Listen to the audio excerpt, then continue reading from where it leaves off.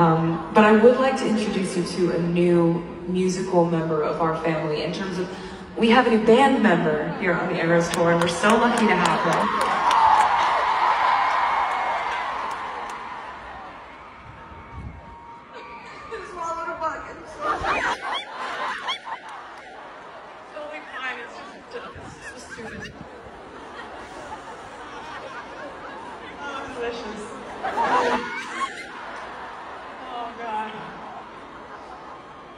Is there any chance that none of you saw that?